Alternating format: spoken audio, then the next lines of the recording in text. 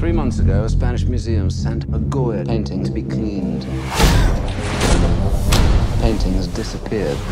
This a very bad man who wanted to fund violent worldwide revolution. Countless lives are at stake. And you would like me to find it? Precisely. What is in it for me, as they say? Do it for Queen and country. No. All right, Queen and country, travel and living expenses, reasonable overhead. Done. Lord Charlie Mortdecai.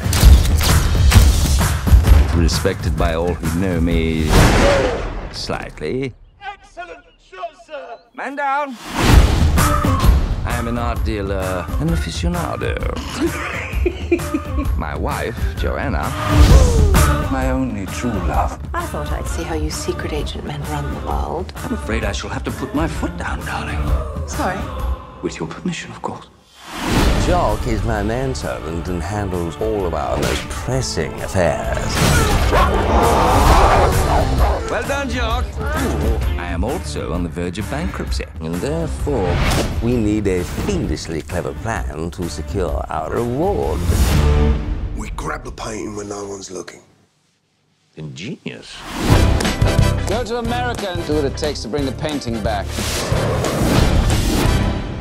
I feel as though we've made a wrong turn and arrived on the set of a pornographic film. It's not unusual to be loved by an I'm Georgina Crown. She's a well-known nymphomaniac. unusual ah. to have fun. Who knows?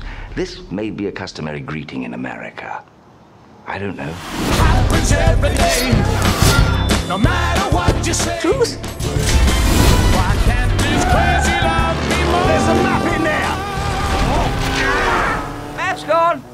It's not unusual to find that I'm in love with you. Oh, oh, oh, oh, oh. oh. Is this where the body was found?